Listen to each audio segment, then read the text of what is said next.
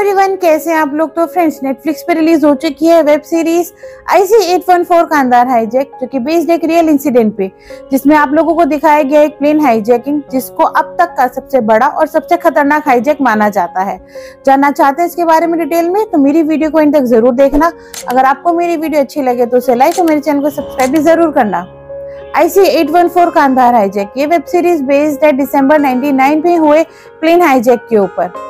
ये जो plane hijack था, ये कोई छोटा मोटा हाईजैक नहीं था, बल्कि सात दिन तक चलने वाला हाईजैक था, जिसे अब तक का सबसे बड़ा हाईजैक माना जाता है। और इस हाईजैक ने न केवल इंडिया को, बल्कि पूरे वर्ल्ड को हिला करके रख दिया था।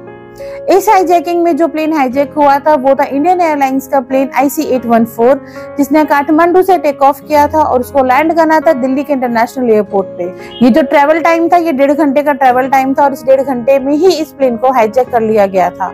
और हाईजैकिंग के बाद इस प्लेन को दिल्ली में लैंड कराने की बजाय अफ़गानिस्तान के कांधार में लैंड कराया गया था। ये सब कुछ कैसे हुआ था और कैसे इन लोगों को रेस्क्यू कराया गया था, वो सब जानने के लिए आपको इस वेब सीरीज़ को देखना पड़ेगा, जिसमें टोटल छह एपिसोड्स हैं और हर एपिसोड का जो रन टाइम है, वो तीस मिनट का है। ये जो वेब सीरीज़ है, ये वेब सीरीज़ बेस्ड है एक बुक पर, जिसको लिखा है कैप्टन देवी सरन ने। देवी सरन वही कैप्टन है, जो उस टाइम उस फ़्लाइट में मौजूद थे मतलब उस टाइम उस फ़्लाइट के वो पायलट थे। मतलब ये सारा कुछ जो इवेंट है, उन्होंने खुद अपनी आँखों से देखा था। इनफैक्ट खुद एक्सपीरियंस किया था कि कैसे प्लेन को हाईजेक किया था, कैसे लोगों को टॉर्चर किया था, क्या, कैसे लोगों को हॉस्टेजेस बनाया गया था।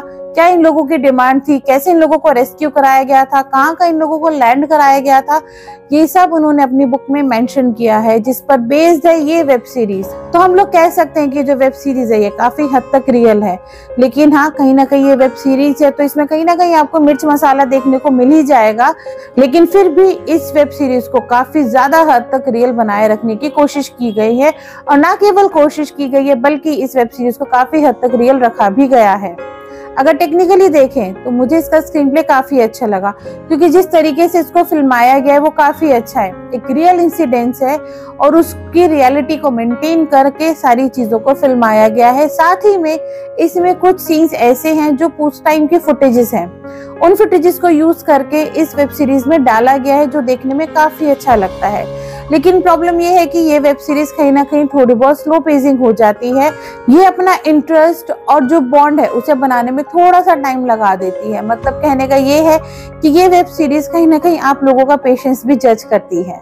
वही अगर हम इस वेब सीरीज़ की कलर ग्रेडिंग या पिक्चराइजेशन की बात करें तो जो स्टोरी है, ये पच्चीस साल पहले की है।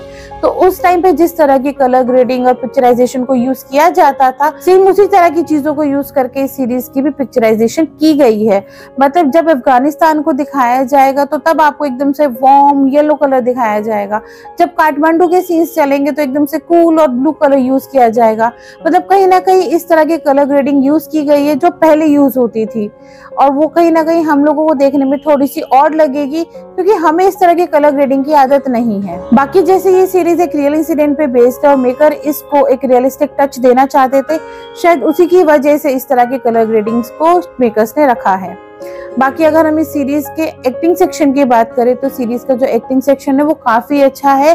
काफ़ी सॉर्टेड है, काफ़ी सोच समझ के सीरीज़ में एक्टर्स को रखा गया है। सबने अपना काम अच्छे से करा है। इस सीरीज़ में आपको नज़र आएँगे विजय वर्मा, दिया मिर्ज़ा, पंकज कपूर, कुमुद मिश्रा, आदित्य श्रीवास्तव और नशुद्दीन शाह जैसे और भी बड़े एक्टर्स जिन्होंने अपना रोल प्ले काफ़ी अच्छे तरीके से किया है। जितना उनको बताया था उतना उन्होंने काम बहुत अच्छे से करा है। काफ़ी ज़्यादा सेटिस्फाइंग उन्होंने अपना काम करा है, लेकिन मेकर्स ने इतने अच्छे एक्टर्स को उनके लेवल तक यूज़ नहीं करा है।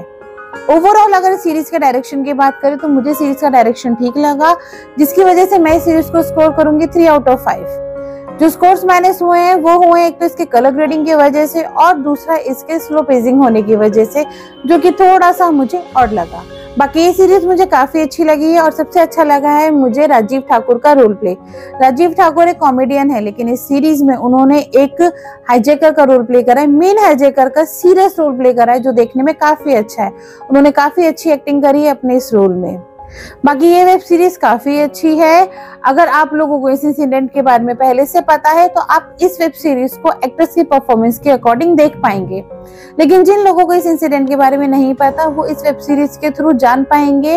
वो सात दिन जो उन हॉस्टेजेस ने एक्सपीरियंस करे, वो सात दिन कितने ज़्यादा खतरनाक थे? क्यों इस इंसिडेंट को, इस हाईजैक को अब तक का सबसे बड़ा और सबसे खतरनाक हाईजैक कहा जाता है? लेकिन इस तरह की सीरीज़ इस तरह की मूवीज़ आपने पहले भी देखी होंगी जो थोड़ी बहुत फास्ट पेजिंग होती हैं। ये कहीं ना कहीं स्लो पेजिंग होने की वजह से आपको थोड़ा बहुत बोर भी करने लगेगी, लेकिन उसके बाद भी मैं ये कहूँगी कि ये वेब सीरीज़ अच्छी है। ये था मेरा review I C eight one four Kandahar hijack को लेकर। आपको मेरी वीडियो कैसी लगी, मुझे कमेंट करके ज़रूर बताना। और ऐसी और वीडियोस देखने के लिए मेरे चैनल को सब्सक्राइब करना ना भूलें।